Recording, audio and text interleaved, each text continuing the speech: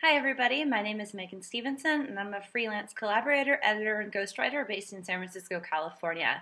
My experience in publishing has been about a decade. I started my career at Simon & Schuster at the division called Touchstone, and then moved to a now defunct imprint called Hudson Street Press, which was part of Penguin before the merger with Random House.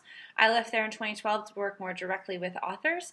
Some of my recent books include Beautiful Money, by Leanne Jacobs about women and wealth. It was published by Tarcher in January, so just a couple weeks ago. And I Wish My Teacher Knew by Kyle Schwartz, which was published by Da Capo last fall. I've helped over 50 authors in my freelance business get their books published in front of agents, in front of publishers, and on bookshelves.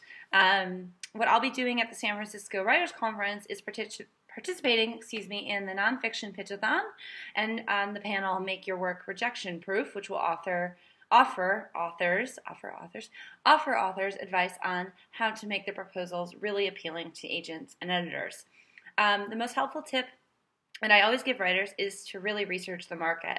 Whether you're writing fiction or nonfiction, it's important not to duplicate what's already out there and to put your own unique spin on whatever story or concept you're selling.